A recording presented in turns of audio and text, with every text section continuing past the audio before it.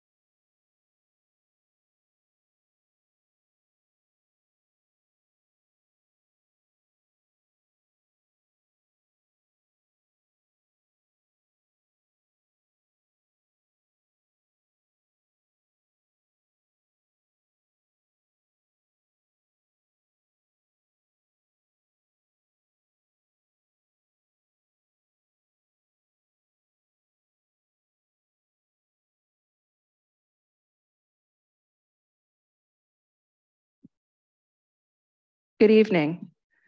Thank you for joining us for the annual PTA Council Board of Education Candidate Forum. My name is Mary Monzone, PTA Council President-elect. Before we begin, I would like to share who we are. PTA Council is the governing body that provides services to our local PTA units. Our function helps build stronger, more effective units by offering training, coordinating communication, communications among units, engaging and coordinating in community-wide projects beyond the scope of a single unit, as well as providing strength to unify planning efforts to solve community-wide issues. As a public service, PTA Council hosts this forum every year. We believe informed citizens are responsive citizens who will strive for better schools and a better community. All of the questions we ask tonight will have come directly from our PTA units.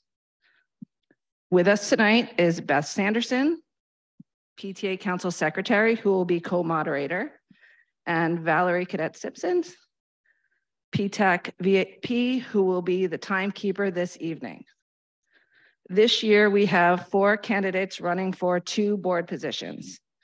Ms. Lewis, no, I'm supposed to read them in the proper order, sorry. Uh, that's on this page, apologies.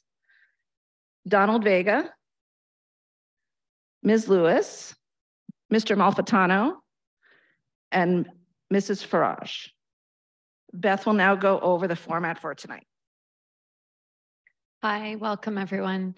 Um, so the format for tonight is that um, each candidate is allotted two minutes for opening statements, three minutes for closing statements, and two minutes for each of the questions asked. All candidates will be asked the same questions. We'll read the question and we'll go in an order that was drawn previously, rotating through. Each person gets to go first and we'll rotate through. There is no additional time allotted for rebuttals. You can use your closing statement for additional comment or rebuttal. Um, opening statements will begin with the person drawn first, which is Mr. Vega. We're sitting in the order we will go in. And please note that this forum is being live streamed and recorded to be shared on any and all formats available to PTAs, including social media. Thank you. Do you want to do question one? Yeah. Okay. Um, we'll start with opening statements. Mr. Vega, two minutes. Good evening, everyone. Thank you all for coming here tonight. Uh, and I see like there's at least 20 people here, maybe so that's a that's a great turnout for New Rochelle. So I appreciate you all for uh, coming out tonight. Every student in our public education system deserves an equal chance at realizing their potential, no matter what their background is whether they're a special ed student that needs special services in their district, whether it's a student that lives on a certain side of town and maybe their English is not their first language, whether a student lives in another part of town that's not near any school and it lacks those resources there. I've, I've been a parent in the system now for more than 12 years. My son is a, a special ed student, Lucas. He's been from Barnard to, to Columbus to Isaac to the high school and now at BOCES. And I've seen um, the experiences, especially for special ed students, uh, which would be my priority on day one. But we have an opportunity now.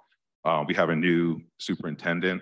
We have funding to really lean into a lot of things, really giving more resources for in the classroom, uh, specifically even more pay for our student aides who haven't received a raise since 2009, to to getting fully in compliance with special education for our district.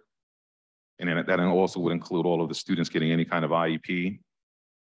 To give more support to our teachers, to give them more uh, professional support. This, this is the time where we can, we can really lean into those things and create the feedback loop where we can really exchange more with the community. Board of Education's job is not to tell teachers how to teach or to interfere in the classroom. Our job is to create the support structure, the infrastructure to really give students and the teachers the resources they need so we can help students, especially the students that are in most need. I ask you to join with me in this campaign so we can make this change. Ms. Lewis? Hi, hello, everyone. First and foremost, thank you for all for, for coming. Um, I appreciate being here. Can, can everyone hear me? Keep the finger. Okay. um, I'm I'm from New Rochelle, as many of you are probably aware. Um, I knew Albert Leonard. I went to Ward. I went to the high school. So um, I think I bring a unique perspective of what it's like to go through the school system here. Um, and I'm not terribly far removed. As you probably can tell, I look fairly young. Um, and so those experiences I keep with me and have been my guiding star in terms of what I would like New Rochelle to be in the future, um, as well, of course, as talking to all the parents and students that I've met along the way in this journey. So, um, excuse me. So uh, I think I've been innovative since then. Um, way back in the day, I was elected treasurer at Albert Leonard. I was elected president of GO when I was in the high school, and I'm here before you to be elected one more time to serve uh, for a community that I love um, and that I've been a part of my entire life. Uh, I left, of course, to go off to college. I went to UMass Amherst, um, where I had the chance to uh, be innovative there. And I, I started programs to encourage students to study abroad. Uh, I also went to Teachers College to get my master's degree at Columbia University in higher education administration. And so uh, even there, I was I went to Barbados to speak to their education uh, uh, board of education and see what they do in terms of innovation in their schools. And so my idea of what we can do is international, um, including the experience that I had myself when I studied abroad. Um, and now that I'm back, I've worked in educa education this entire career. Um, I've worked in the boarding school and day school fields. And of course, I worked in public schools and I've worked for the Board of Education now for New York City, where I've taken lots of data and given really innovative solutions to problems that superintendents are facing. So I work directly with superintendents and principals and advising and coaching teachers um, and supporting teachers, particularly our new teachers in their first year and onboarding support to make sure they have everything they need to be successful in the classroom. Mr. Malfitano?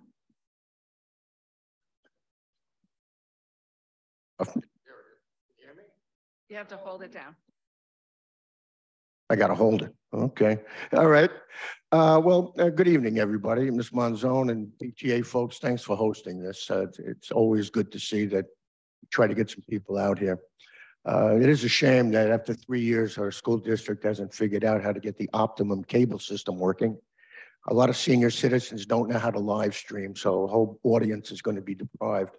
But that's something I'd like to work on if I got elected.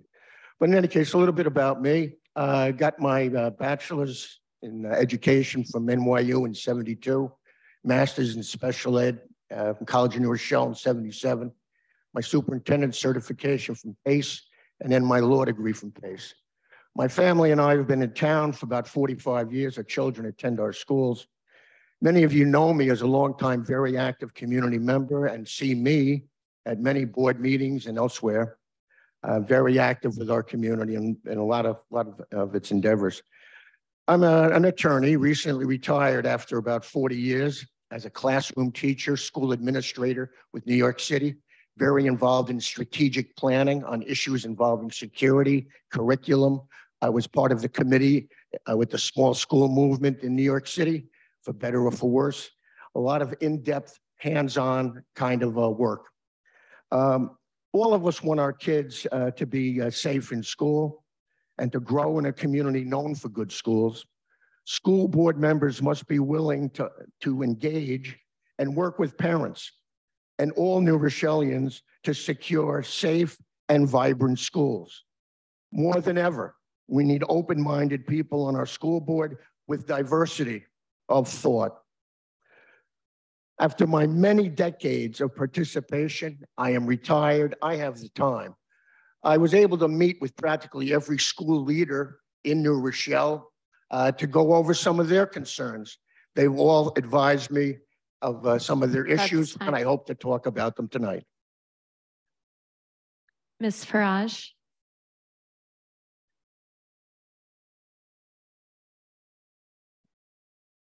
Hello, everyone, and thank you for coming tonight. Uh, my name is Lydia Farage. Um, I'm a proponent of strong education system because it lays the foundation for our future.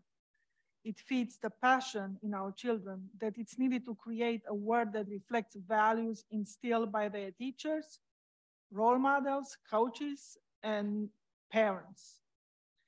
I am a mom of two children and a longtime resident of New Rochelle. Together with my husband present here, we raised two successful children in this beautiful city. My daughter attended and graduated from Northeastern University and is now a doctor of physical therapy.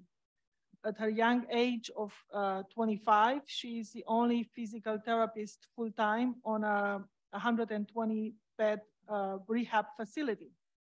My son is graduating Friday from Purdue University, Indiana, with a degree in uh, civil engineering. I feel very blessed to have had the opportunity to raise my children to be confident and successful with the ability to choose and create their own future. I was not myself so fortunate having been born and raised in a communist country, Romania.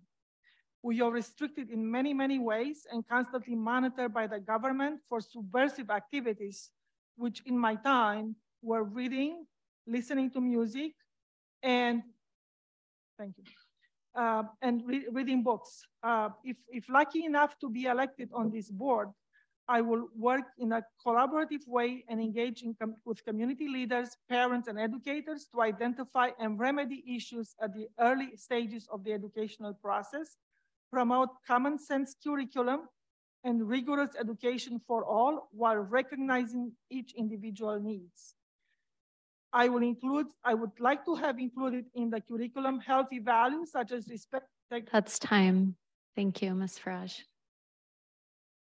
All right, so we'll start, Ms. Lewis, you'll answer question one first. This question is for all the candidates. Is there a particular interest or issue that motivates you to serve on the Board of Education? In your opinion, how would you characterize the relationship and the role of the Board of Education with respect to the administration?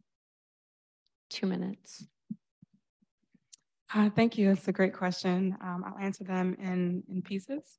Uh, so for the first question, um, I know that I've come across many different uh, concerns that parents have had across this uh, and our, our students as well in terms of overcrowding. I think um, when we think of uh, busing, when we think of transportation, we think of there's no school in the Lincoln School area, we think of um, City Hall now being available uh, and what we can do to support students who, um, like uh, Don was mentioning, there are in BOCES, students who want to be a part of BOCES that can't and um, aren't able to, and just expanding the opportunities that we can give our students uh, across New Rochelle.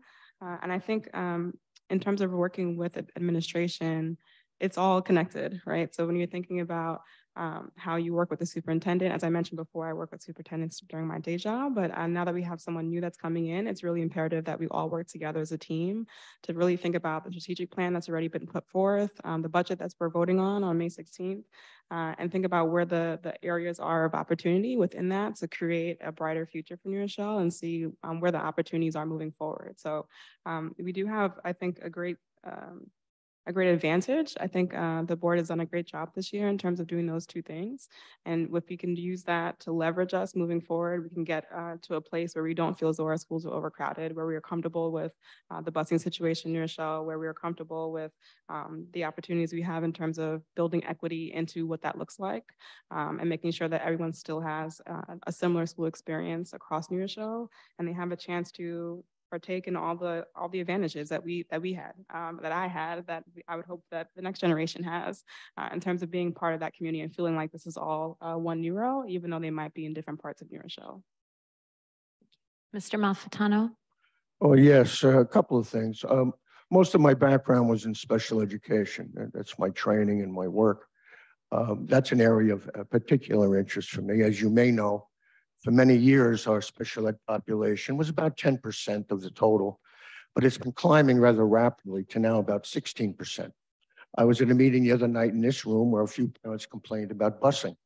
Uh, busing, by the way, is the largest item increase in our budget, a 25% increase. Uh, we need to get some answers about that. But the real question about this is parents aren't getting served with the busing. Buses don't come, all kinds of issues. And in terms of the services provided, so I, I'd be a strong advocate in that regard. But a couple of other things that do concern me, um, mostly uh, dealing with time on task, I call it. I know that uh, uh, Albert Leonard had to recently revise their start time by a half an hour. Uh, period begins at nine o'clock rather than 8.30 because, again, busing issues. Kids can't get there on time. Okay, uh, now, Ms. Thomas and others worked on it, and they didn't uh, extend the day. But what they did do was take away four minutes from every class period. Now, is that a monster problem?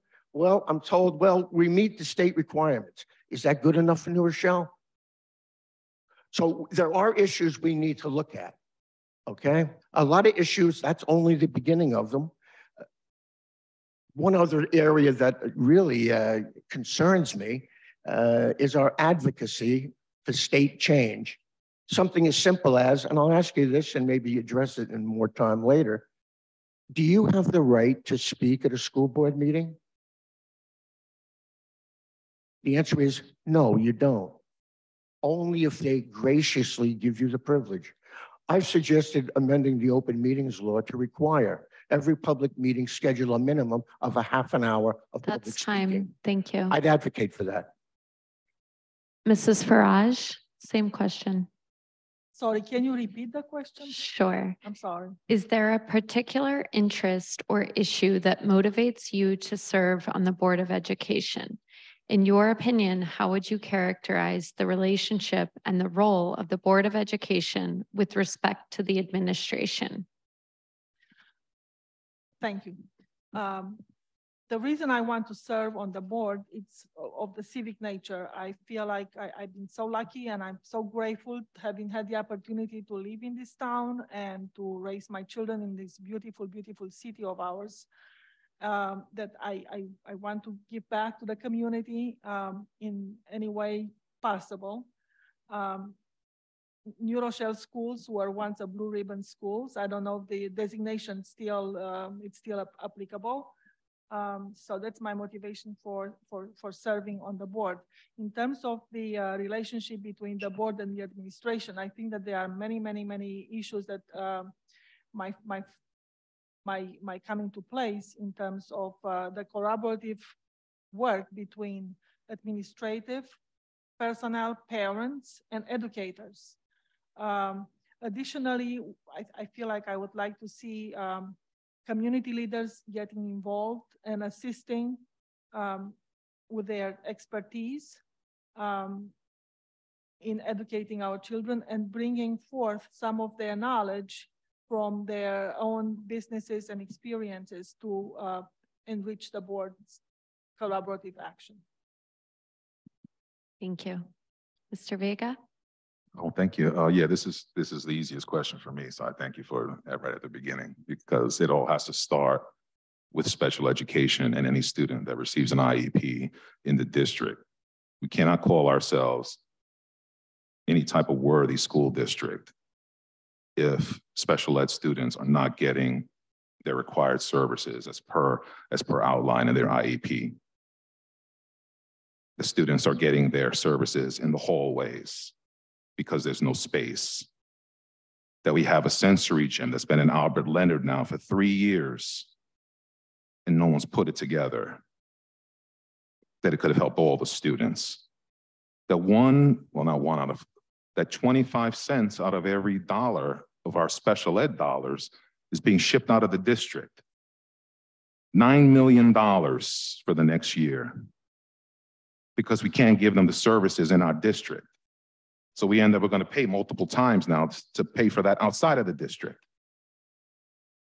And touching upon the, their role of the, of the board in terms of the district is a perfect example because the board is responsible for special education and making sure that the entire district is following the state policy.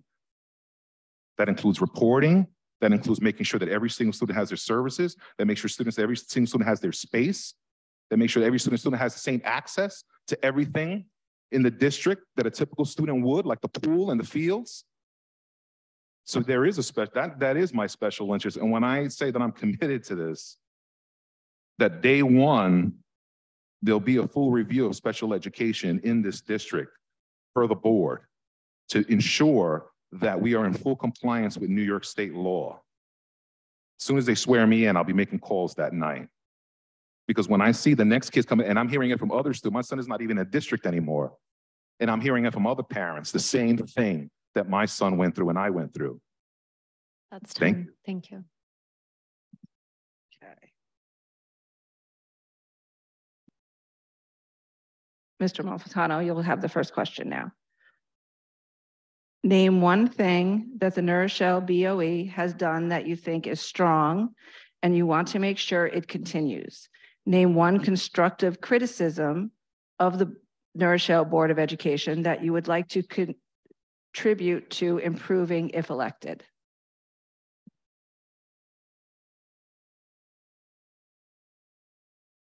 Oh, Mr. Malfitano. Okay, well, this may sound like a simple thing, but the one thing that seems to be working very well is the home call system. Now, that's not a major item, but uh, I get a call, oh, Mr. Malfitano, your daughter was not in first period, was, there's a problem with attendance. And then you get an email. Okay, oh, she wasn't in first, okay. Well, that's a simple item.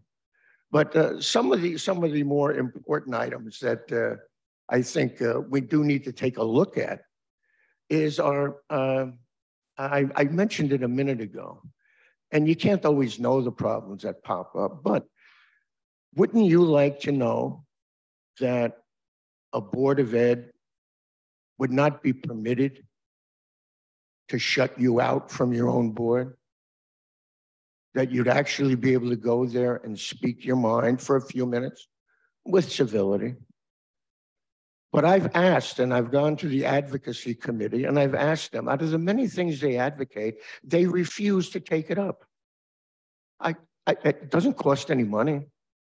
Advocate to your state representatives to change the open meeting law so that you, citizens and residents of New Rochelle, have the absolute right maybe for half an hour of time to be allotted to speak at a public meeting. Mr. Iannuzzi, when he became board president, actually told the audience something which not many people knew, but I did. And here it is, quote, New York state law does not require that we permit you to speak at our meeting.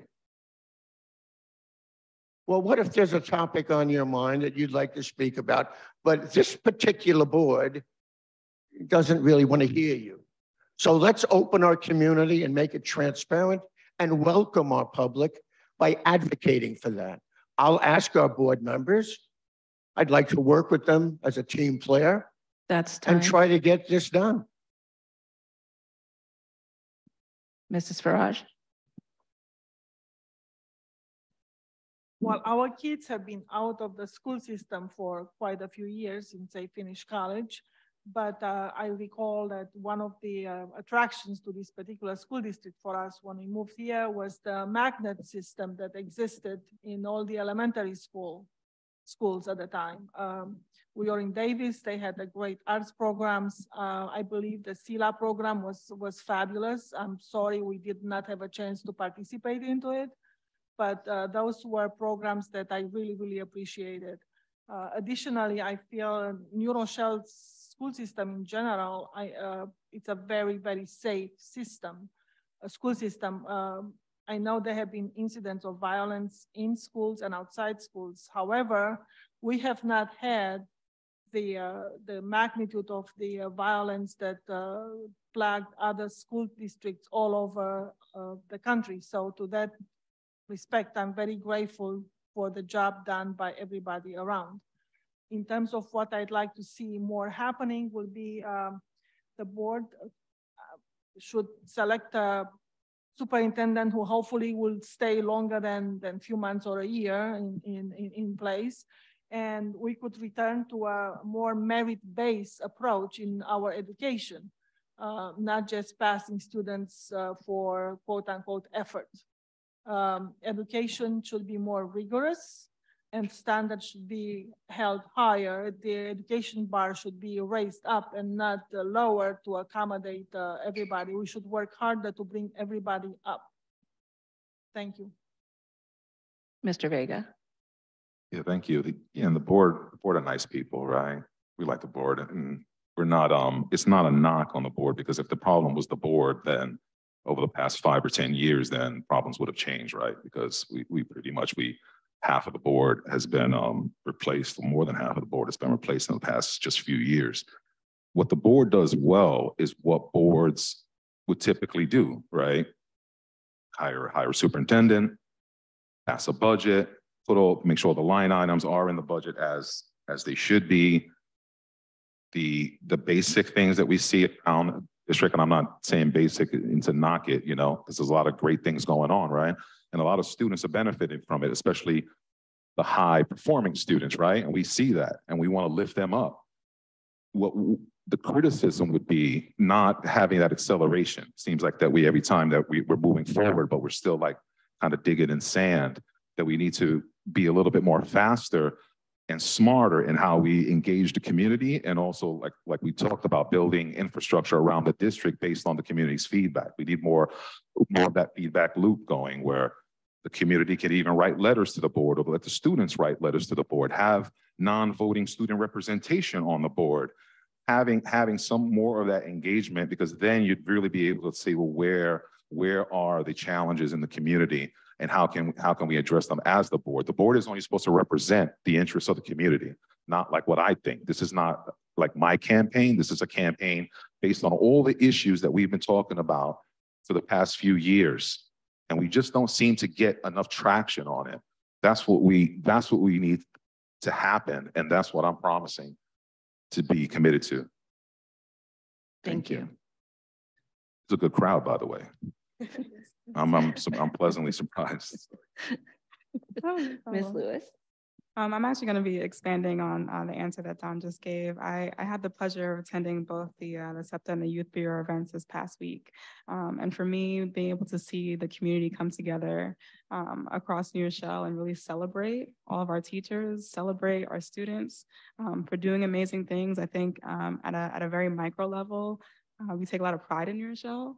And so it was great to be able to see people, um, you know, just really emphasize that in, in public and in showing for other support for other people so that the word gets out uh, and in showing what we do. And I think in that same vein, what I also enjoyed had been attending the, the board meetings and seeing no matter what school we go to, the school that the board meetings held at presents on what they're doing and that what they're they're proud of, right? So they, they share with the board all the things that they've accomplished lately and and some really big things and everyone seems to really enjoy that. And so um, in, in line with that, I think uh, moving forward, what I would like to see is really just a sharing of those ideas. Um, when I when I attend those meetings, I think like, you know what, it would be amazing if this presentation wasn't just for the board, but maybe there was a separate day where all the schools get together and share amongst themselves so that Jefferson's talking to Barnard and Ward is talking to Davis and they get to innovate amongst themselves and, and get to share these ideas that it's not just within the board and that the board is hearing, but all of New Rochelle's getting to hear.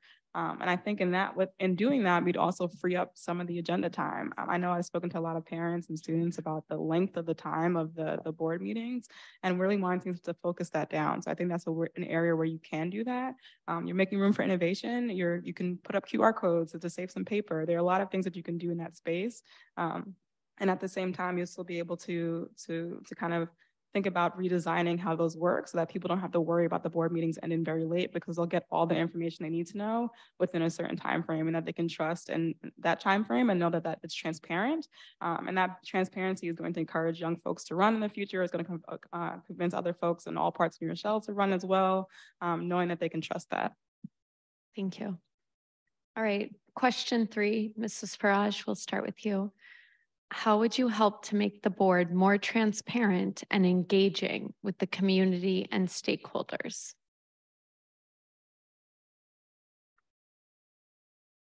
Great question. Um,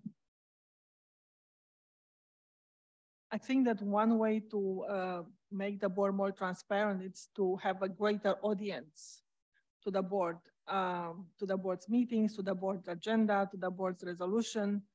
Um, I know people try to uh, avoid coming to boring long meetings, but maybe it will be a, a, a way to uh, broadcast the, uh, the, the meetings and maybe um, mailings to the, uh, to the residents um, regarding the minutes and the issues. Also, I feel like in some ways, um, from what I'm hearing here today, um, it's not a great representation of the whole city of New Rochelle. I feel like um, there are issues specifics to some areas and it doesn't seem that we are addressing the, the whole the whole district as, as a whole and not just parts of it. So um, I feel that invitation should be extended to the, to the whole community when the board meeting meets and the issues that are being addressed should be listed uh, clearly so everybody can uh, have a say in it.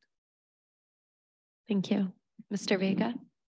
Yes, thank you. The best, the best way to be, be more transparent and more engaging is just to do it, you know, to be more transparent and make it a lot more easier for everyone. There's, we kind of, we kind of get into, you know, a cycle where it gets kind of harder, things get harder. Even like to make a public meeting, they, they schedule both meetings on the same date. You know, when it's the city and, and the school board, you know, it's, it, we have to make it easier for parents to engage, right? We can't tell them, well, you got to show up at this meeting. We can't tell teachers, right? You got to work harder. We can't tell the students, well, you need to work harder. It's your fault. We have to make, we have to get smarter in every way that we do things. And if we give more information to the community in basic language, right? Like just like the budget, the budget should be something that's like, you know, a 10 page PDF. And then you could just forward it to, to any parent and they would be able to read it and really understand what's in the budget you know, and then there should be a separate one that highlights special ed or highlights a certain a certain area of, of the district. We don't we don't see enough of that. If if anyone has seen the budget presentation, I've seen multi-billion dollar companies have investor calls that are simpler and more easier to understand than the budget presentation. It's not it's not that complicated to, to do. And when people see that, you know, even public, we're talking about public comment. Who wants to go public comment at 9:30 at night? You know, I'm not even this fired up at 9:30 at night. I'm ready. I'm ready to go to sleep at, at 9:30 at night. And we want people, we want parents to show up. We want teachers to show up, students. This, this is this is what kind of like hinders engagement. Just like if city council schedules a meeting on the same day as a BOE meeting, that, that just hinders engagement. We have to make things easier, more convenient. Let let people like like we said, write letters to the board. Send me a text and then read it to the board if if we do these things, then parents will begin to appreciate, teachers begin to appreciate because they're going to say, "Oh, my opinion matters. Oh, I was heard," and that's how you're going to get more people engaged in the process itself. It's time. Thank you. Ms. Lewis. Yes, I, uh, I, I know I just briefly uh, actually answered that question, so I'll try to, to build off my previous answer as well. I think um, I agree that we need to meet parents where they are. Uh, in my previous job, um, I worked with parents who had multiple jobs, did not have the time to, to come down to the office and meet with us. But it was imperative that we spoke to them about their students and what they were doing well, what they need to improve upon. Um, and so we brainstormed and collectively as a group, um, as I would like to do moving forward as well, to, to still do things collectively, um, is think about where and what you can do to, to meet them where they are. So it, it looked like at that point was a text message listserv um, where at the beginning of the school year, our schools ask for the parent's cell phone number, and then every six months they would check in and say like, "Hey, did your number change?" That's it. That's the only question you have to answer for me.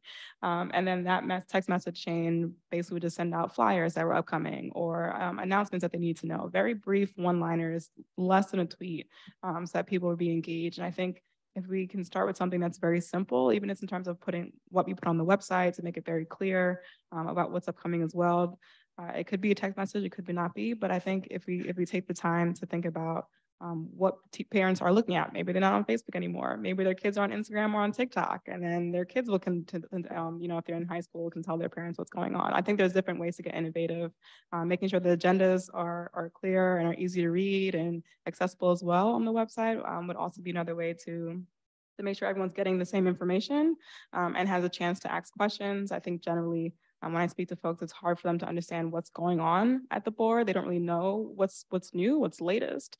And so making sure that they're, we're, we're sharing information as often and as, as easily as possible. Um, and again, uh, shortening the time of the meetings, making them easier to understand and people for participating. You can call in, even in terms of uh, videoing. When I, I tried doing it myself on Zoom and you can't actually see the screen when they're sharing the budget video. And so if you're calling in on Zoom thinking, oh, I can't make it, but I'm gonna use a Zoom, it doesn't work. Thank you. Mr. Malfitano?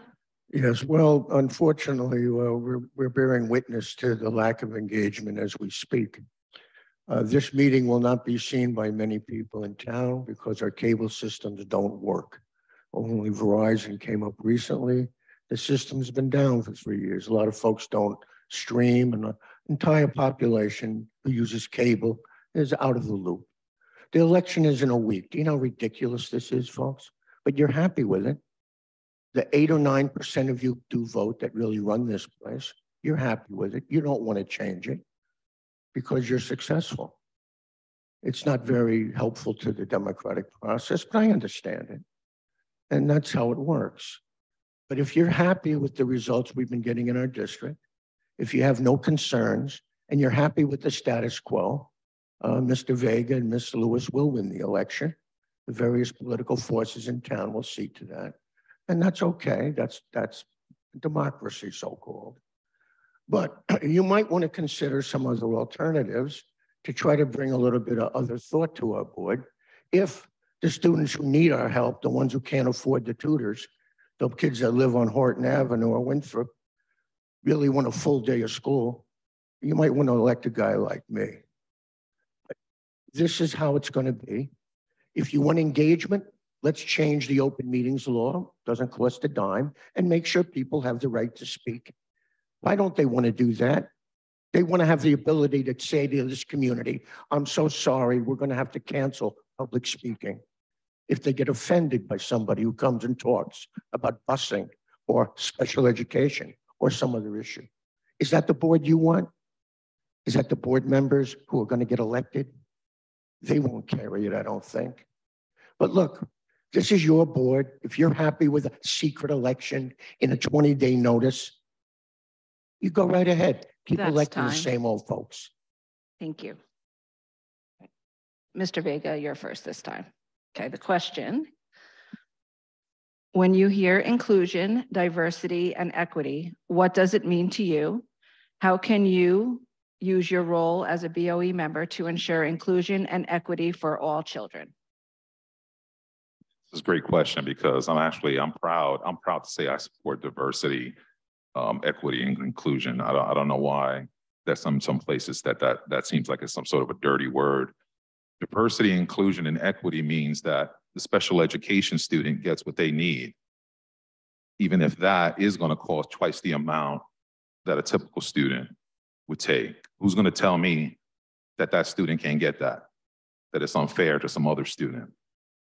Equity is, equity says that if, if some kid on one side of town gets something that it's not on at the expense of some other kid on the other side of town, which we seem to have that sort of canard here in New Rochelle that, that every time that somebody gets that it's at the expense of somebody else. That's just a myth. That's just a way to just keep us, you know, spinning.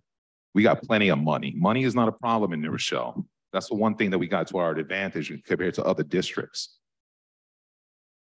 I'm, I'm sorry, would you repeat the question again? I got fired up again. Sure. When you hear inclusion, diversity, and Oh. equity, Yeah, inclusion and diversity. The, the other part, the other part of that, sorry, is that we need to hire more teachers that look like our students and look like the student base that we have. Because the data shows that if you do that, you're going to, that's when you're going to get that incremental difference.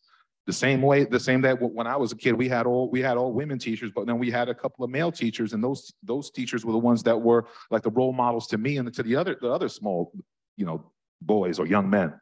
So diversity, equity, and inclusion is not a dirty word. It means fairness to everyone, depending on your circumstances.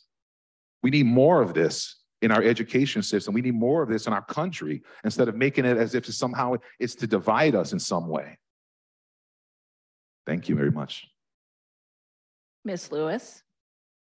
Uh, so I'll actually start this question where, where Don left off. And so, um, as I mentioned before, I work for the largest school district in the country.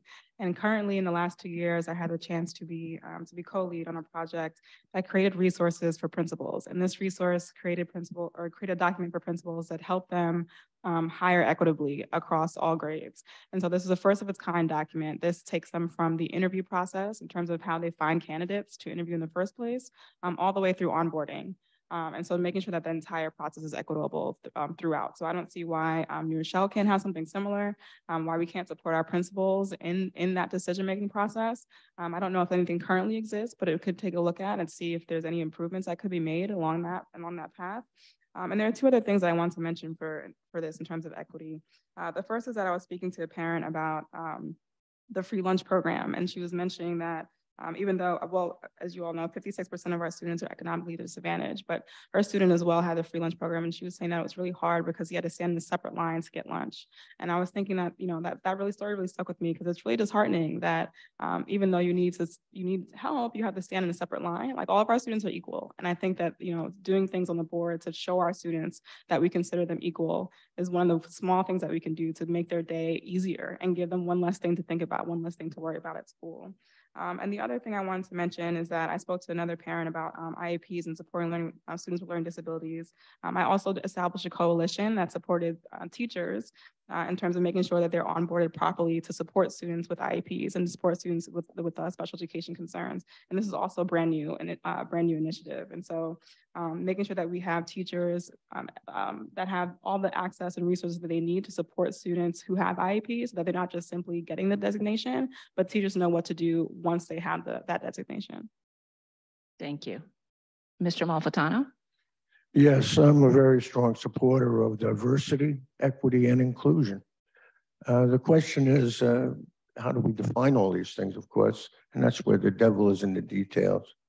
But I'll just tell you a little story. Many years ago, when I graduated NYU in 72, I thought I'd become a social worker.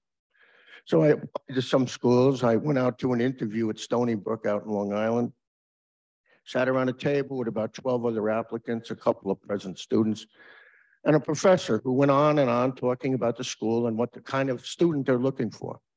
And they kept using a phrase that's popped up a lot in our district, uh, change agents. We're looking for people to be agents of change and so on and so on. Okay.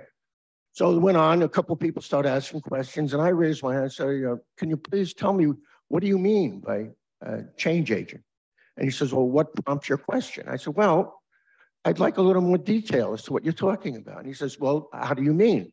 And I said, Well, uh, I can think of a lot of people who were agents of change. Uh, the disciples of Christ were agents of change, but so were the black shirts and brown shirts of Mussolini and Hitler. I said, Who are you talking about?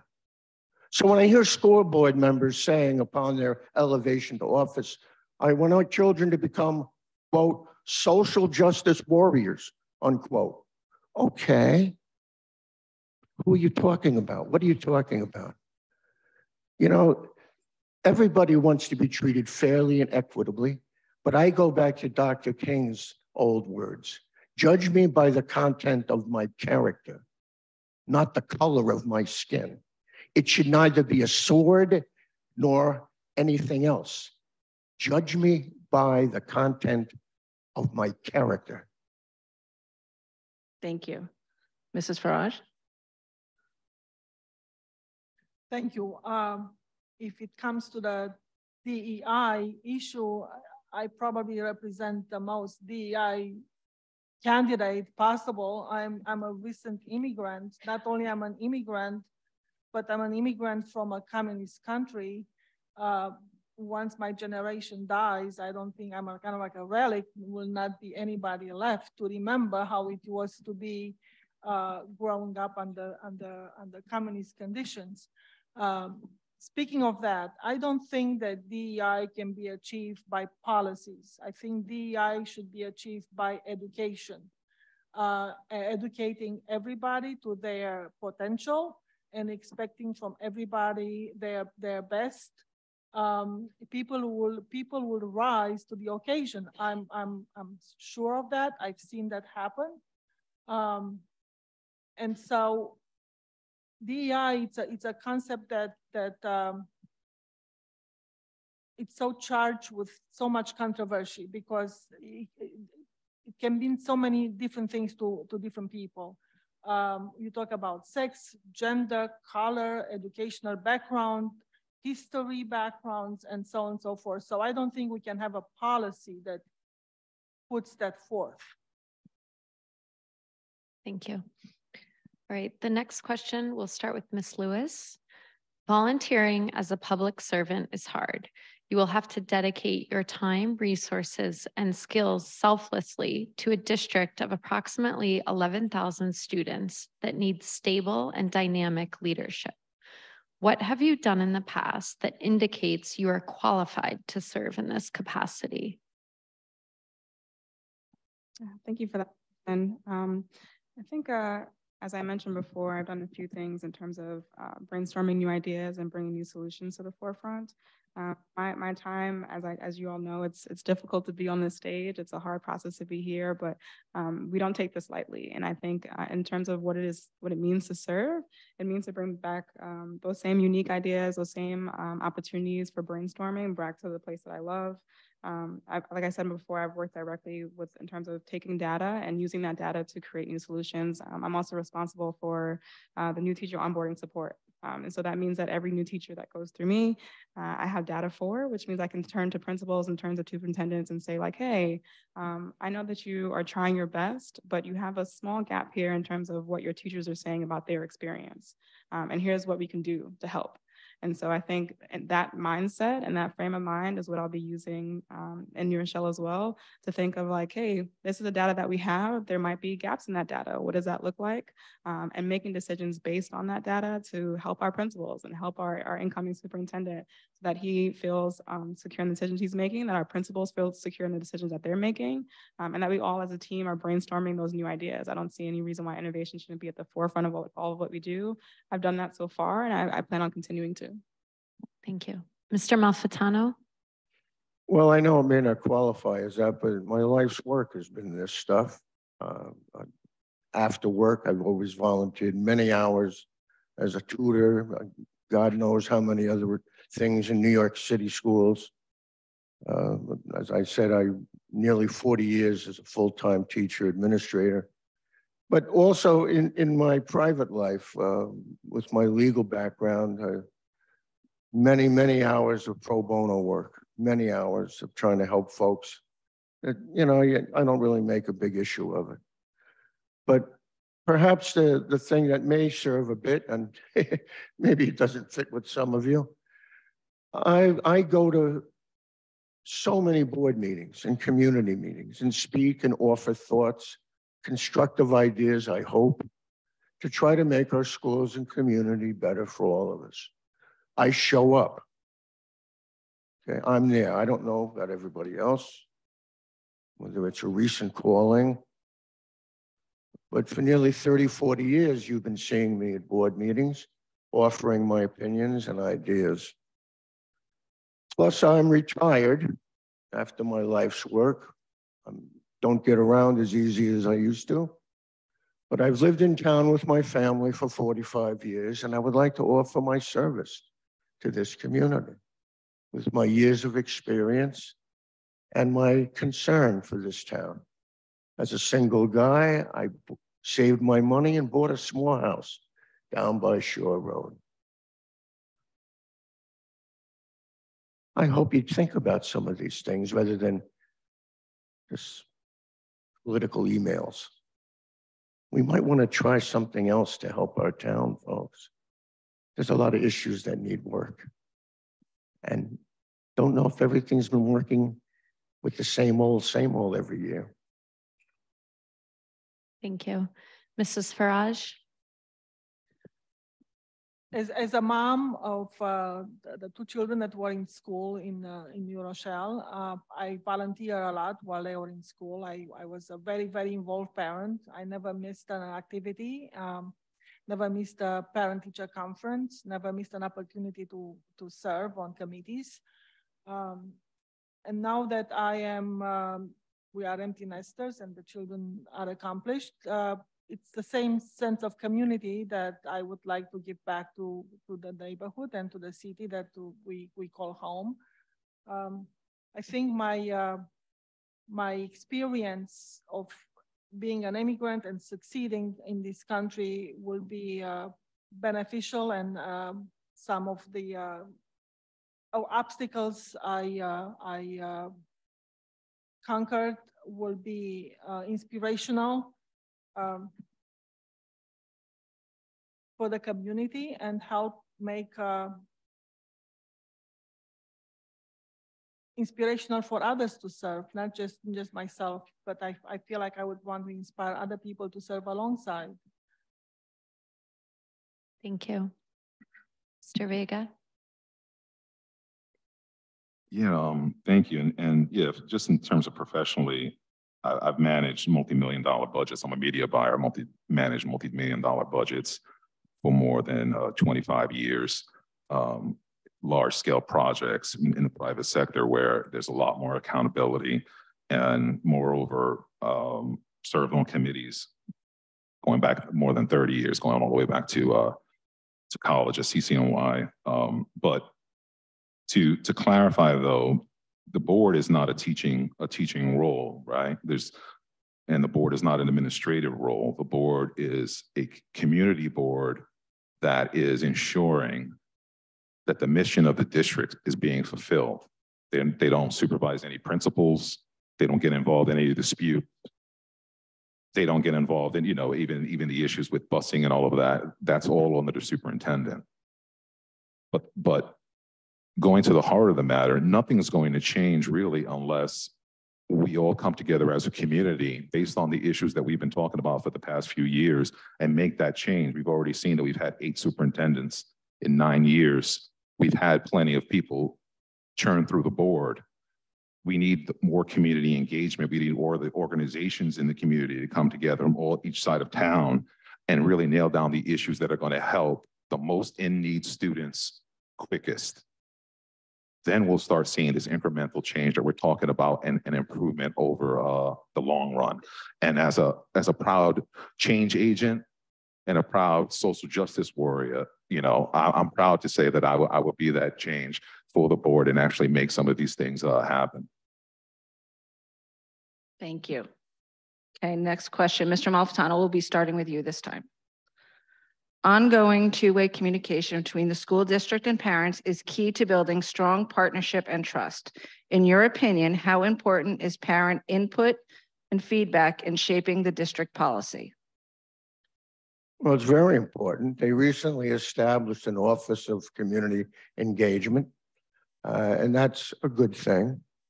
Um, I know the, the board, uh, the superintendents, uh, the various ones, have tried to reach out through various uh, efforts. They've had the town meetings, uh, which seem to be nice. But again, um, as was said earlier, and Mr. Vega is correct, um, the board does not organize its meeting in a very engaging way. Uh, if you go to City Hall, the citizens to be heard, it's at seven o'clock, you can speak and you'd be out of there by 7.15. Now, many people like myself and others have for years implored the board, please, please make public speaking maybe before you have the presentations. Maybe people just want to come and get home to their family instead of sitting there till 9 10 o'clock at night. Now, I've done it. My wife is, is a very uh, forgiving person. but for those of us in our community, don't you think our board can take a look at the structure of how the agenda is placed? It doesn't seem like rocket science. So let's work on these things.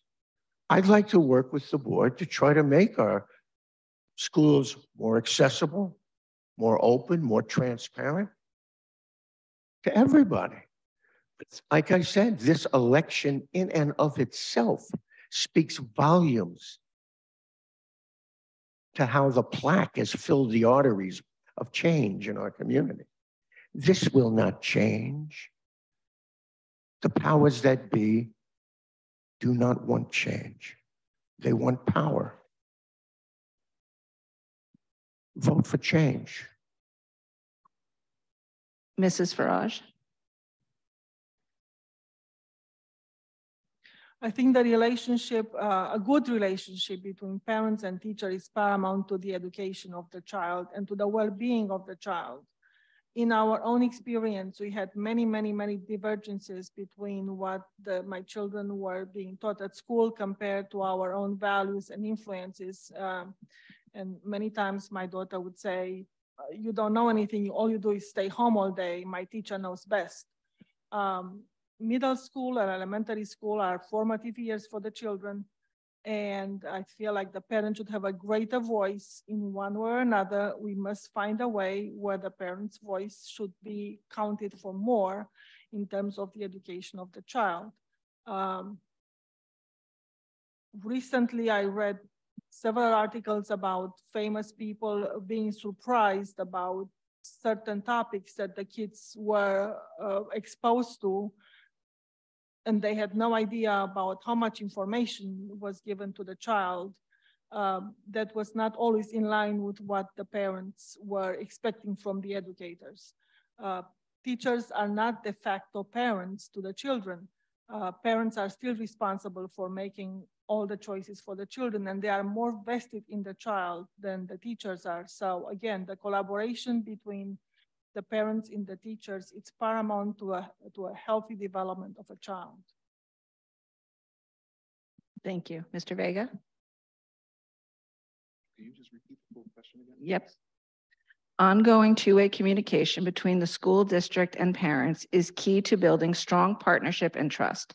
In your opinion, how important is parent input and feedback in shaping the district policy? Well, it's hard to, you know, when you say how, how important, of course, it's going to be very important. It's not, it's not about the degrees in which you measure the importance. It's about, well, how are you going to channel that, right? How are you going to gather that? How are you going to better engage the, the parents in the process? You know, no one's going to say that the, the parents' role should be limited because of, of, you know, because it's too hard. We have to, we have to create ways to create those streams of information. As, as I said earlier, the feedback loop with parents to say, well, if you can't, if you can't come to a meeting or if you can't engage, then let's collect everyone and one person will come to the board meeting and read everyone's statement.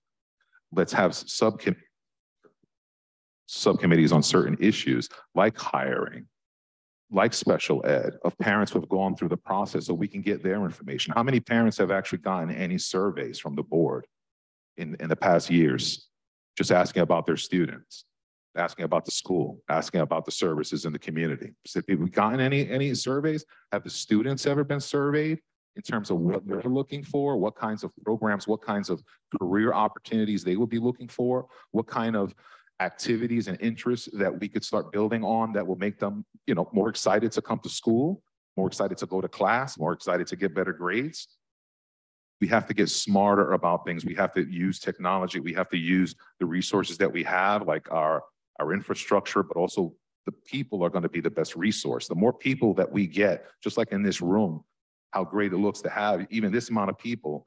If we get more and more people as part of the process, I guarantee you that things will change and also parents will feel a lot better because even if things are kind of, you know, then at least they'll say, well, at least I know, you know, at least I'm part of it. At least I, I'm getting that information back from the district about what's going on. And that's really the biggest complaint that I hear that we, when we hear we're canvassing, it's like, well, I, I call them, they don't call me back. Or oh, I don't know what's going on. Or oh, I don't know what's over here, over there. I don't know where to go. So communication is key. That's time. Thank you. Ms. Lewis? Um, so I come from a, a, a long line of uh, educators. My grandfather was an educator um, in New York City, and my father currently is a special education teacher at Title I school. Um, and so many evenings I'll come home and hear my father in the den um, calling parents uh, day after day to see if they can share their input and let him know what you know what he might not know about their own students. So for me, I think from day one, it's always been shown to me that parent input is important. And I think in terms of how we include parent input in terms of decisions that we're making, it's going to be just as imperative, right? Whether we're talking grades in the classroom or what we should put forth at the, um, at the, the school board. Uh, one example of that, I was speaking to another parent and they were saying that they were very happy that the board had put money towards um, capital improvements to fix up the high school and Barnard, um, but they still had issues at Ward School and there was still a vermin problem and they had problems with AC and air conditioning. Um, and I wouldn't have personally known that had I not spoken to our parents, right? So even though we have great intentions of, of putting capital uh, towards fixing our buildings, we might be missing a few things. We might be getting at the high school and miss Ward, for example. Um, and our parents will also be the, the cornerstone of, of us thinking about how we think about our social emotional support for our students, right? We're coming out of a post-COVID era. We can't forget that, right? Our students are still trying to readjust to this life and, and come back into a new space. It's gonna feel different, it is different. Um, and so our parents are gonna be a part of that equation to make sure that they're, you know, mentally supported and, that mental health is still at the forefront of what we're thinking of as we get into this new era. Thank you. Mrs. Farage, we'll start with you for the next question. If elected, what do you see as your learning curve? How will you foster a spirit of collaboration between your colleagues? How will you strengthen the relationship between families and the district? thank you. I feel like um, my first uh, my first priority, if elected on the board, will be to learn about how the board operates, to learn about uh, the issues that the board is facing, and to prioritize those issues um, in, in, in, in, in an order that they can be uh, addressed. Um, Mr. Varga mentioned the special ed, uh, Mr. Malfamante mentioned um, uh, freedom of speech. So there are, it's a variety of issues that the board uh, has to deal with. So I feel like my, that will be my first, my first priority would be to learn um, and to help prioritize the, the, the issues. Um, also meetings with the principals, um, learning from past experiences in terms of uh, the hiring process for the superintendent. And of course, speaking to parents about their priorities and their need for information. Um, additionally, the board it's mainly concerned about education, but let's don't forget that in this community, we have also a whole host of other individuals who might deserve our attention, such as senior citizens or retired people who might need to have access to um, continuing ed um, classes for enrichment or just for socializing. Um, this will broaden the participation of the community and hopefully uh, help th get things done. Thank you. Mr. Vega?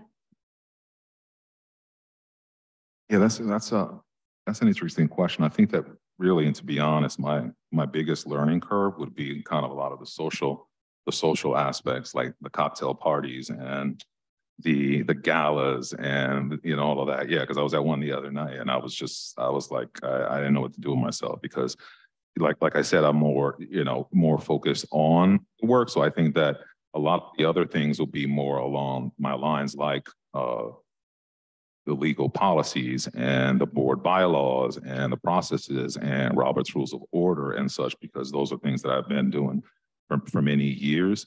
But, but yes, trying to have that also to build those relationships but with, with people to strengthen those relationships, to try to, like I said, to try to build more of a coalition amongst different organizations and different communities in New Rochelle. So then we can actually get change done. No, again, because no one board member is really going to come in and and just start making changes. It doesn't it doesn't work like that. And again, like like I said earlier, families families in the district, it has to be more convenient for them. It has to be easier.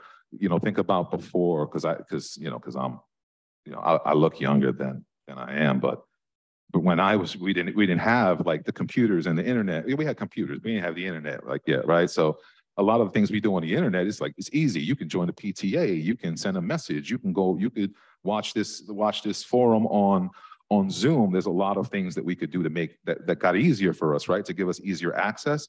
We have to lean into that more to say, well, how can we use those tools and other tools to say, let's make it easier for the parents, let's make it easier for the teachers let's make it easier for the students to all better engage. And then this way that we can get back to the fundamentals because the work is supposed to be done really in the classroom, right? Not like us trying to struggle in terms of how to talk to each other. Thank you. Thank you. Ms. Lewis?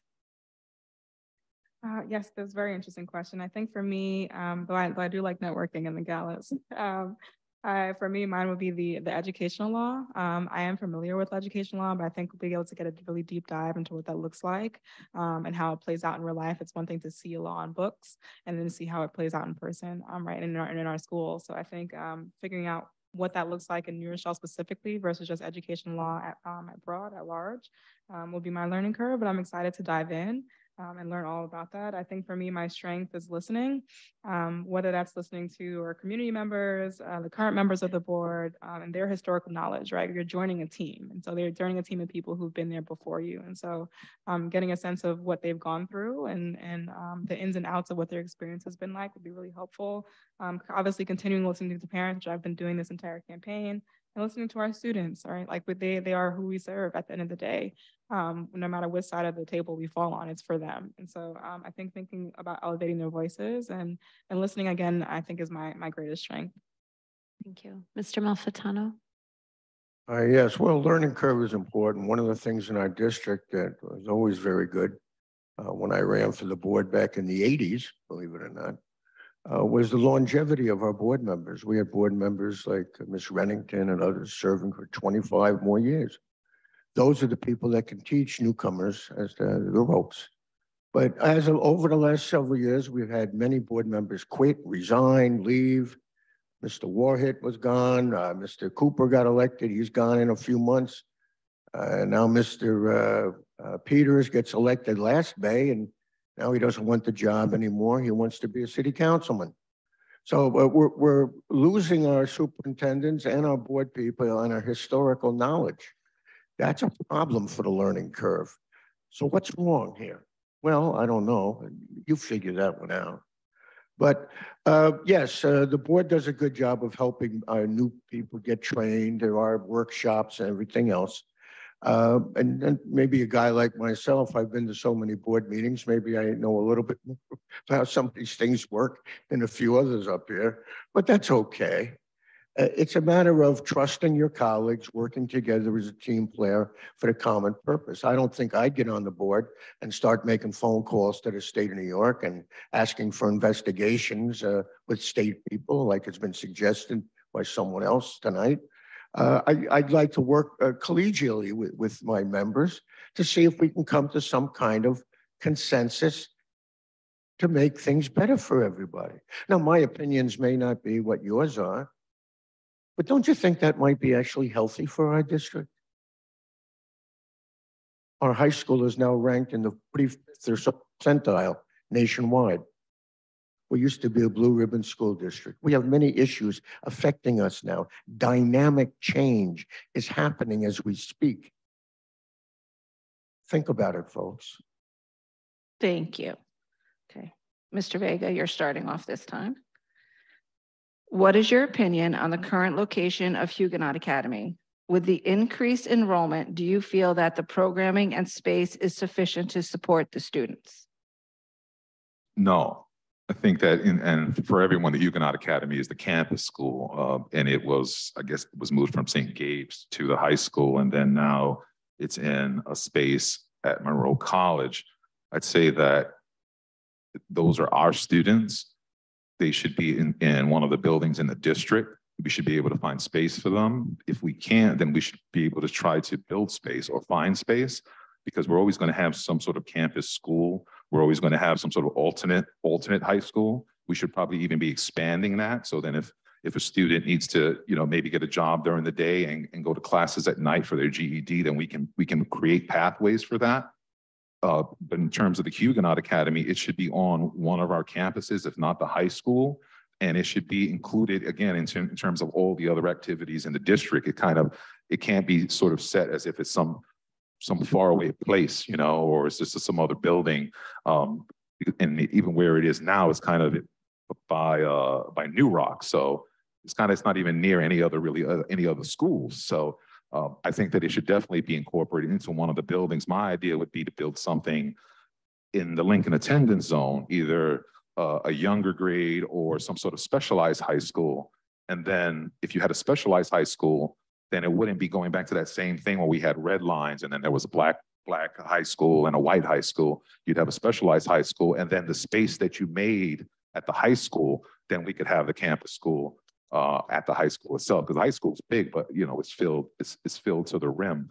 But it should not stay at Monroe. I think that we're paying. I think it's you know it's got to be like twenty thousand plus a month that we're paying just to lease the space. You know, so it's like okay, twenty thousand dollars a month you know, what, what could we do for that? Could we maybe find space in one of our buildings or something, or long-term build another space? Long-term, we need a plan because uh, the campus school is not a temporary thing. It's always going to be part of the, the district family. That's time. Thank you. Miss Lewis?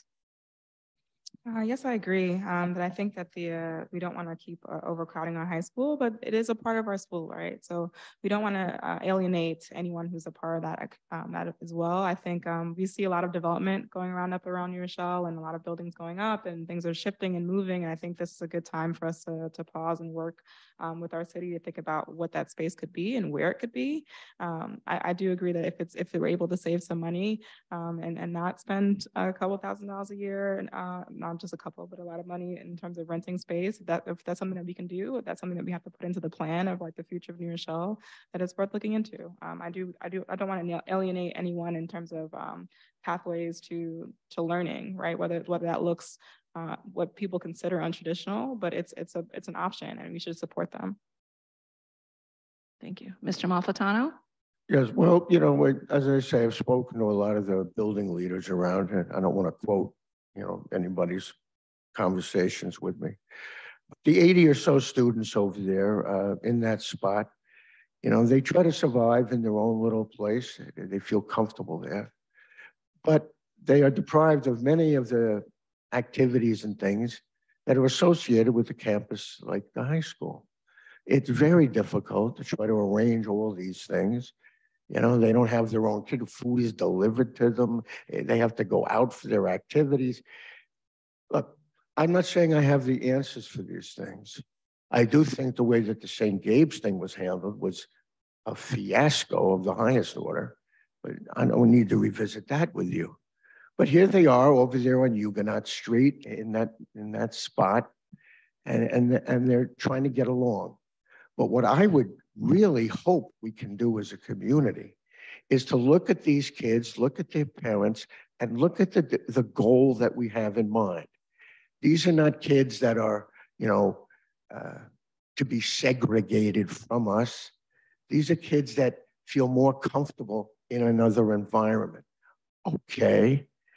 Is there another way to accommodate this and to achieve the goals of a more unified kind of learning experience? I would hope so.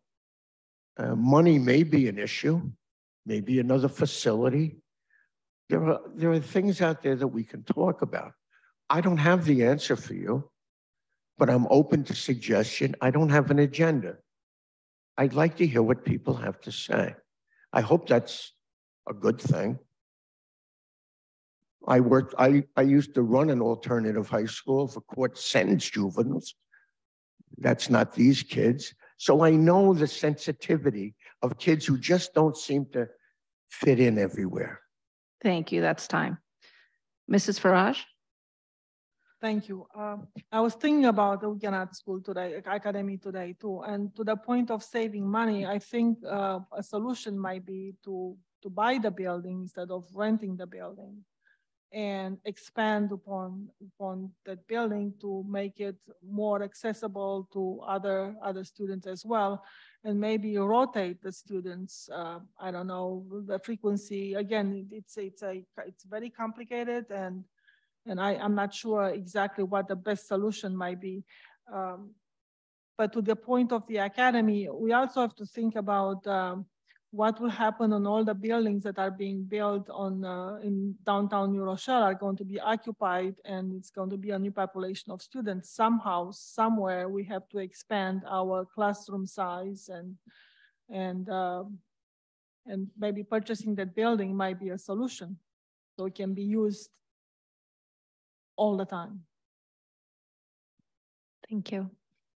All right, Ms. Lewis, we'll start with you for this question.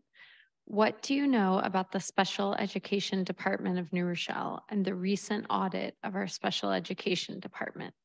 How will you support the families, students, and teachers who are a member of the special education community? Thank you. That's a great question.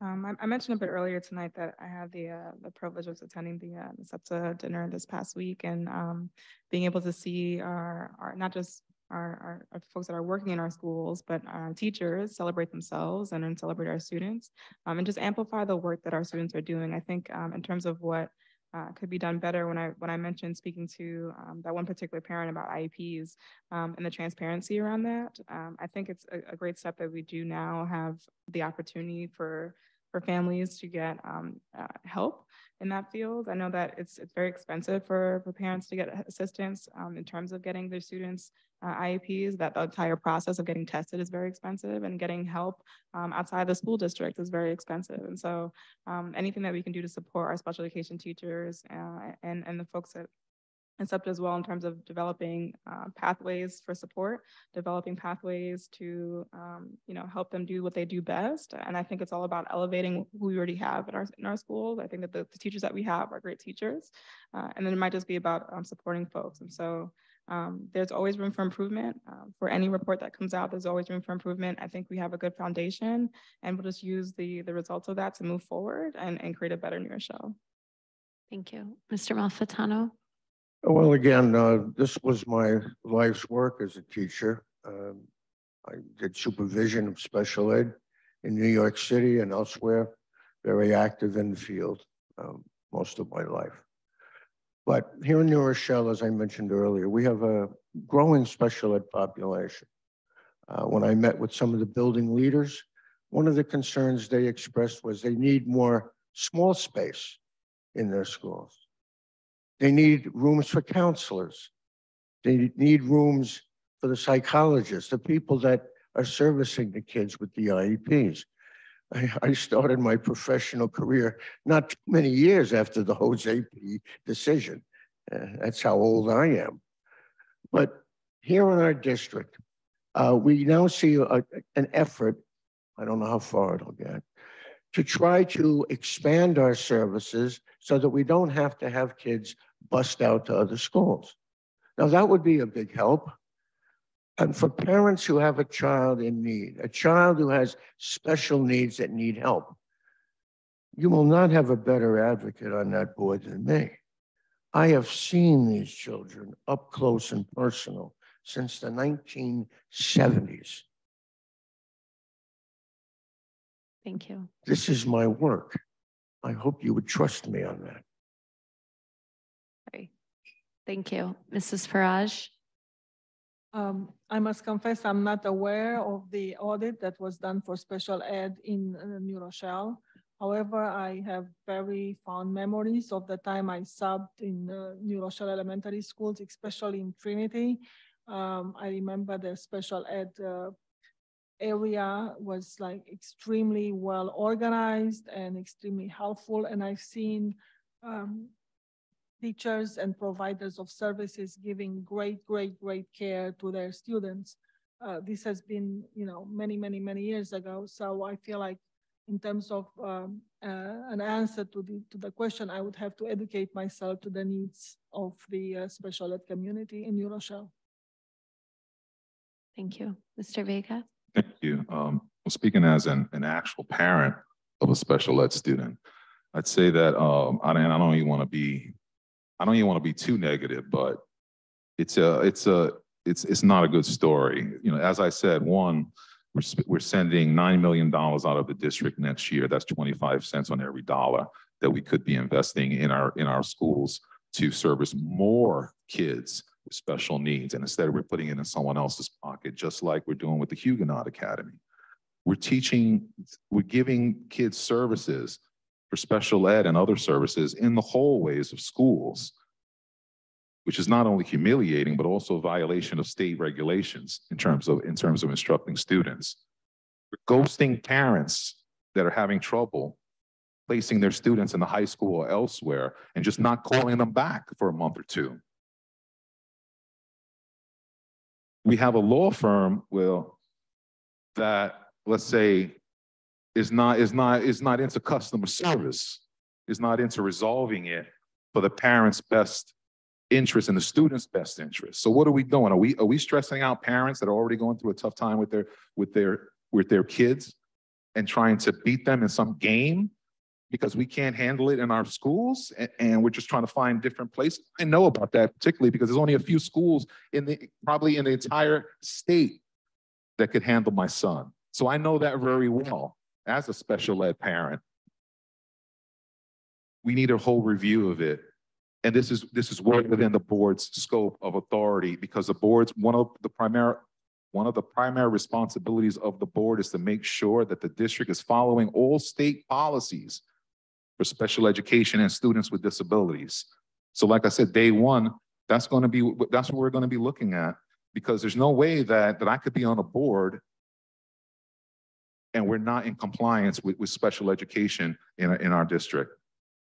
Thank you. Okay, next question, Mr. Mal- Malfitano, you'll be starting. Current school district policy language is written in a way that is not easily understood by the average community member. What are your recommendations for proving understanding of the district policies? Well, I've attended many policy meetings, uh, the subcommittee of the board, and I've watched them work. And I know that they've been making an effort to achieve what you're, you're talking about. Uh, I don't want to be overly critical of, of, of their efforts. I, I think they're making reasonable progress in doing so. Some of the policies, uh, and I've pointed this out, uh, like the code of conduct and, uh, uh, geez, I wish I could remember the other one, uh, the discipline code, uh, have contradictory language, and I've pointed it out. Don't, I- you uh, take it to heart. Look, this is not simple work to write policies that match with ed law, federal law, and everything else. But uh, if you, if you have some thoughts, anybody in this room or the PTAs, I'm sure you guys communicate these things come to a policy meeting. They'll let you talk for a minute or two and uh, send them an email. But yes, yeah, uh, sometimes they do look a little bit uh, uh, archaic, cumbersome, and, and some are to divine. But I think the board is making an effort at that. Uh, So I don't want to be overly critical of it, but yes, some of the policies are a little bit hard to really figure out. Thank you. Mrs. Farage? being a immigrant and having English as my second language, uh, I, I'm a, I need to have the policies written in, I'm a proponent of the plain language policies in terms of uh, having access to understanding and reading uh, the policies that our children are, and educators are supposed to adhere to, especially New Rochelle has such a large immigrant population, especially Hispanic speaking uh, population, we need to make sure that parents understand what the policies governing the educators are. So I, I think that we should address this uh, and adhere to the plain language rule that governs many contracts that people are dealing with in general. Thank you. Mr. Vega? Yes, thank you. And I think that I touched upon it yesterday when we talked about the budget. And, and to me, it's very simple from a, from a board member, let's say hypothetically, that I don't understand it. So I don't understand it, then, then I'm not voting for anything that I don't understand. We're gonna have everything in plain language, not only in plain English language, but in plain documentation that then you could just take and then you could translate it. So you say, oh, I just took it and I translated it to Creole, I translated it to Spanish or Portuguese. What, what is the point of actually going through this process if then you, could- if you put an output that nobody can understand, right? Who's, who's the, who's the end customer here supposed to be? Is it supposed to be the board? Or is it supposed to be the, the, the community and, and is part of the district, right? So if they're the end customer, if they don't understand something, then what did you say that you didn't, you, you failed at something that you didn't really follow through with it? Everything has to be so plain that you should be able, if something comes out, you forward it to someone, within five minutes, they understand it, and then they can have questions and they can, or they can object or, or whatever. It's too much of, of everything going out into different directions and not clear policy. And this was also, this was also kind of, you know, clear during, during the pandemic, but the pandemic's a little bit more, was a little more complicated and different conflicting messages and such. But on a regular basis, how, this should not be a hard thing we should, we should all be able to have a smooth process on a regular basis. And then again, going back, to said, then you're going to have a better engagement, better engagement from the community. Thank you. Thank you. Ms. Lewis? Um, yes, I agree that, that the, uh, the policies that we write should be in, uh, in very digestible language and uh, accessible language. Uh, and in terms of accessibility, I think it should go, uh, even past language, whether it's a QR code or a website or some other way to translate, um, what's being said. Uh, we can also have interpreters, right? We don't, I, we don't see that often in Rochelle as well. Um, so I think accessibility in general can be looked at in terms of making things easy to understand for our families. Um, and I think the, uh, for example, the, the attendance policy was updated recently. The board also mentioned some other policies that they were um, sunsetting. And so then, you know, making it clear in terms of which ones um, were, were current and almost up to date. And so I think that the, the board continuing to do that work to sunset the policies that are no longer relevant and updating the ones that are will make it even clearer in terms of what should be followed. Um, so I do want to applaud them for the, their current work on that. Um, and I think continuing that work, making language accessible, um, thinking about other types of accessibility in terms of making sure that our folks and families at home understand what's going on uh, is, is kind of like step one. Uh, the policies can be long, but we're, we're talking about policies that are used in the school building, right? So it's one thing for the board to know what the policy is uh, in terms of documentation, but then what does it look like when our principals are trying to use that policy, um, when our teachers are referencing that when they're talking to, to parents. And so making sure that it's digestible and easy to understand is not just for, for us in terms of the board members or people who will be on the board, but for those who are using it on a, on a regular basis. Thank you. Um, so this is our final question. Mrs. Farage, we'll start with you. Um, everyone will answer the question and then we'll go to closing remarks. How do you feel about our current magnet programs? Do you feel undoing the magnet program will bring some of the transportation costs down? And is this something you are open to explore? I feel magnet programs are great and I would not, um, I would not want to um, not promote them further. Uh, transportation cost is an issue. Maybe the magnet programs can be, be adjusted um, where they would be more accessible to the population within the within the uh, district. Um, especially uh, the uh, SELA program, I think was it, it's, it's extraordinary in terms of helping students cross the bridge. And uh, by students crossing the bridge, the community gets stronger.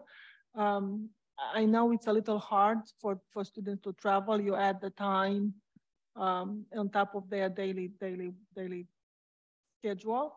But overall, I think it's a great program. And this is one of the things that attracted us to New Rochelle schools. Thank you. Mr. Vega? Yes, thank you. Um, what I, what I found is I think that I have trouble with the question because I wonder why, why, why do we feel that we have to get rid of programs because it's a transportation issue, you know? We shouldn't, we shouldn't let the transportation challenges dictate whether a student's going to be in a magnet program or not, right? Because if they they have the opportunity to be in that magnet program, we should be trying to lift them up. We should be trying to find instead solutions to the transportation problems, you know. And we and this constantly comes up with any kind of program we have. How do we have the the after school programs, right? How do we have the mentoring programs? How do we have more clubs? How do we have all of the other activities when we have to bus uh, large numbers of students across town? So the answer is not, we should be expanding our magnet program. I was a magnet student as well. We should be expanding our magnet program. We should be giving every opportunity, even to students that, that struggle a little bit, if they can be lifted to get into the magnet program, then do that. And then instead really look at our transportation challenges district-wide, long-term, how can we challenge, how can we solve these things? How can we alleviate these things? Why are, why are large chunks of students always traveling on the bus and have these huge commuting times and waiting on buses that are idling with, with pollution and such like that. Why can't we really find solutions to that where we, we can't even find solutions to the traffic jams around our schools? So these kind of things shouldn't be as large challenges as they always appear to be to us. Every, every district has the same challenges regarding regarding busing. A lot of them they go much farther distances and they're able to figure it out we should be able to do that by having a more of an in-depth study in terms of our transportation uh, district-wide. Thank you. Ms. Lewis? Thank you. Uh, yes, I am for looking into that um, and, and much more for me anyway, much more than just for transportation issues in terms of the cost. Um, that, um, of course, is, is, is a thing, right? Like we want to think about the budget always in terms of what the, the dollar sign is going to cost us. But for me, it's more of a bigger issue. So I, I when I think about this, I'm thinking about um, how our schools can partner with each other across the city. to make themselves better and make themselves greater. I'm thinking about um, how we can, um, you know, obviously eliminate the commutes for our children, how we can also kind of create uh, community schools, if you will, if I can use that phrase. So when I think of community schools, I'm thinking about serving the whole child and serving the family that comes with said child, right? So whether it's a parent or guardian, but what are we doing to support them? What are we doing to support the student? And so if we're thinking about how to do that in terms of community school type of format, um, and less about magnet schools specifically, then we're going to be thinking about how to how to do that, how to cater to the entire family um, and that student. And so for me, I, I would like our schools in terms of um, whether or not we, we we stick this with this, like consider looking at it because I think if we think about you know using a community lens, um, it would help alleviate both of those in terms of what we can do moving forward, and also help with the budget, help with the commuting time, uh, et cetera. Thank you. Mr. Malfitano? Well, the concept of magnet programs is certainly uh, an an old one around, and we've, we've adopted it years ago in various buildings. The concept is, is, is good, but the transportation issue is a real one, and, and it must be addressed. When I met with various school leaders that had magnets, or even like um, Barnard is a little different, the big issues with getting kids getting picked up and parents calling in. No bus showed up this morning. So look, if we're going to have these programs, which I think are good, we had best get our hands on this stuff because a lot of the parents are getting very frustrated with it. And I know the superintendent the other day mentioned that uh, to try to go out with a RFP for various uh, different bus providers rather than one massive bus outfit for the whole district. I don't know if that'll solve our problems, but the concept of a magnet program is good. The idea of having a specialized learning environment with teachers dedicated to that issue, I think is valuable. But we have to make the dynamics of it successful for the student. So I'm open to thoughts on it. Uh, there's always been talk in town about how the lotteries work and all this other business. And uh, that's procedural stuff that with equity, I think uh, the board can address these questions uh, in, in a way that makes people feel everybody's had an equal shot at it. But I think the magnet programs that we have are, are basically good programs. But, you know, like many things in life, they, they need to be tweaked. Thank you. That concludes the question portion of this evening. Each candidate is going to have three minutes for closing statements. Mr. Vega, we'll start with you. Well, thank you. And first, I want to thank everyone for coming out tonight. I mean, you really should give yourself applause. You're, better than everyone else who stayed home to watch. No, I'm, I'm kidding, please. I need everybody's vote. I want to thank PTAC for holding the forum. There's only going to be two forums, public forums this year today and tomorrow. Tomorrow's at the library. So if you know someone who can't make it tonight, tell them to come tomorrow. It's going to be at the library. It's going to be the library candidates as well. Um, it's very important because again, there's only there's only two public ones. Um, the issues that we talked about again, we have the opportunity to to affect all of these different things that we talked about.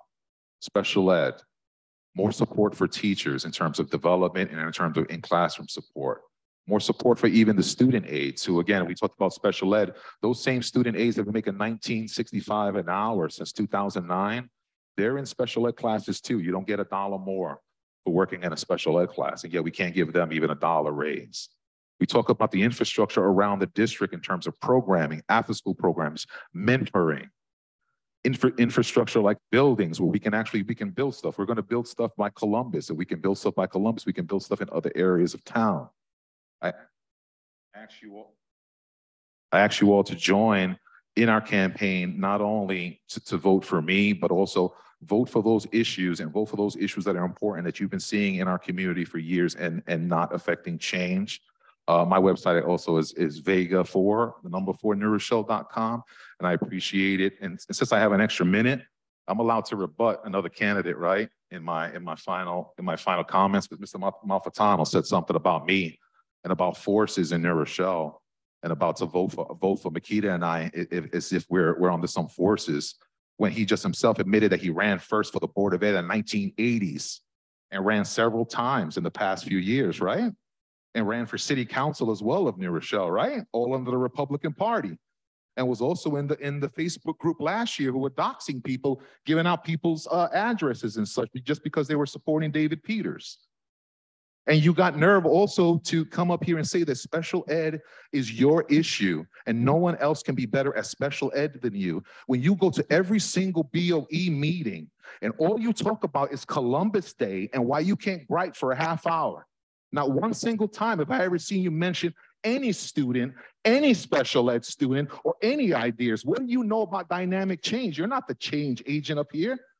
The other candidates other, the other three candidates, Lydia, Makita, and myself, are the change. You've been here for years and it's only gotten worse in our community. Thank you. Ms. Lewis? Uh, thank you as well for, for coming out tonight. Thank you for everyone who's at home. Thank you for everyone who will be watching this. Thank you for sharing this link um, with your friends and family across New Rochelle. Thank you for being involved. Thank you for submitting questions um, for today and tomorrow. Um, it's really my pleasure, my honor to be here to speak to you all tonight and share some of my views and some of my values and some of my morals. Um, and so you have four of us on the stage today. Um, and you only have to elect two of us. There are only two seats. And so you have to choose the two people who you feel as though would represent New Rochelle the best. You have to choose the two people who you feel as though would, would fight for you and fight for the things that you care about um, and that want New Rochelle to be the best that we can be. Um, so a vote for me would be a vote for equity, inclusion, diversity, someone who's walked the walk and that has not just talked the talk. Um, voting for me would be a vote for data-informed decision-making. Um, voting for me would be also for voting for someone who can get along with others, can work collaboratively um, through difficult issues and through difficult topics and can keep our North Star, um, which is doing what we do for our students. Um, and you know, I know I'm also someone who knows how to work in a bureaucracy. I've worked for government for many years, and and bureaucracy is not new to me. And so, um, with that, I want to remind you all the election is May 16th. Um, please tell a friend to tell a friend. The polls open at 7 a.m. Uh, typically, New Rochelle has a very low turnout, so we'll appreciate going to the polls. We'll appreciate you bringing your friends to the polls um, and letting everyone know that this is important and important to you and important to all of us. Um, and so uh, we hope to see you all on May 16th out and about um, as you vote. Thank you again. Thank you. Mr. Malfitano? Oh, yes, well, this was a little bit interesting. I think you've seen the character of Mr. Vega, a gentleman that will win a seat to the board. I think it bodes well for our community, doesn't it? Well, I never ran for city council. I did run for state legislature. And yes, I did run for the board in the 80s. Anybody around here to remember that? I was new in town, uh, had some years experience with the schools. And during a debate like this, I heard a lady speak that I became impressed with. Said she was a teacher at Albert Leonard, this and that. So I went over to the Standard Star, which used to be in town a few days before the election. And I said, I have a story for you. Mr. Malfitano withdraws from the election and endorses Mary Jane Rennington. That's who I am. We're finding out who Mr. Vega is. I'm a team builder. I believe in progress. I believe in truth. But yes, uh, we are seeing outside forces come into our community to help candidates win an election uh, a national political action committee organized by people uh, from the Clinton campaign are now supporting one of our candidates. Imagine that, something I ain't seen in my 40 some years. A national political action committee coming in for our little lowly school board election. Okay. If that's what we want, that's what we get. But, you know, the simple truth of the matter is I stand on my record. I have never seen Mr. Vega at a board meeting. Walks a good game tonight. And, and he will win. The right lawns have the right signs on them. The right people are endorsing him. When he ran a few years ago, uh, when Miss uh, Brooks and Manaya, uh, he got 200 and something votes. Well, he will win this time because the powers that be want him there for you. You decide whether he is of character to be on this board. All right? The seven or eight percent who are going to decide this election, they think he is. And he's going to win. And the Political Action Committee nationwide, organized with Ms. Lipman from the Clinton campaign, will elect your next candidate.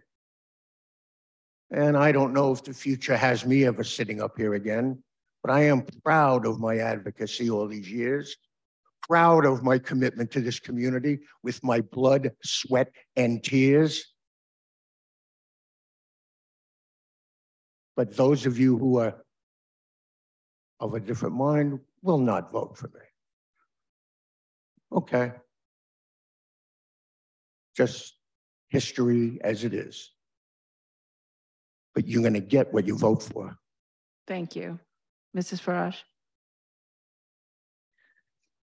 Thank you. I want to thank everybody here first, uh, especially my husband who's in the audience, who has always been my supporter ever since we met 30 plus years ago. Um, I am not, uh, I don't have the same resume and history and experience as my colleagues at this uh, forum. Uh, but what I want to say that I bring to the board um, will be respectful America, especially the universal education system that too many of us uh, sometimes take for granted. Uh, I also bring the appreciation for my community and the desire to give back to New Rochelle. Um, I want to tell you a couple of stories uh, because I was fortunate enough to be a stay-home mom for most of my time, most of my kids' younger education. Um, my son was in second grade at Davis, and uh, because I assigned the reading material, he was crying, crying, crying, crying, and uh, I got called by the teacher at school, um, and she showed me the book that I assigned to my son, and it was Robin Hood Unabridged. I tried to read that book myself, and I couldn't. So at that point, I kind of like gave in, and I gave him a, a, a little uh, easier book to read that he was able to to finish reading.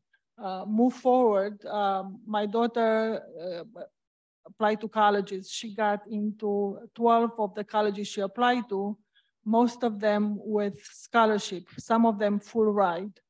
Um, among the schools that she applied to and she got in was Northeastern University, who gave her zero money.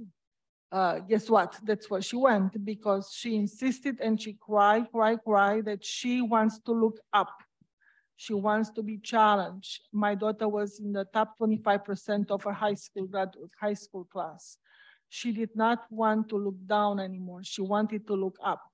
And we mortgaged our house to pay for her education, and we're very happy we did. She's very uh, successful, and we're very proud of her. Um, again, I, I feel like I was very, very lucky to be able to stay home with my kids and monitor their progress not everybody is in the same boat. I understand that, but I feel like if, if I get to be on the board together with all the other parents, I will make sure that I will work very hard to raise the education bar where our children can compete educationally with the whole world. Thank you very much. And uh, thank you for your vote and for your presence here tonight. Thank you. And thank you, everybody, for coming tonight. Thank you, candidates. For your time and dedication. Vote on May 16th.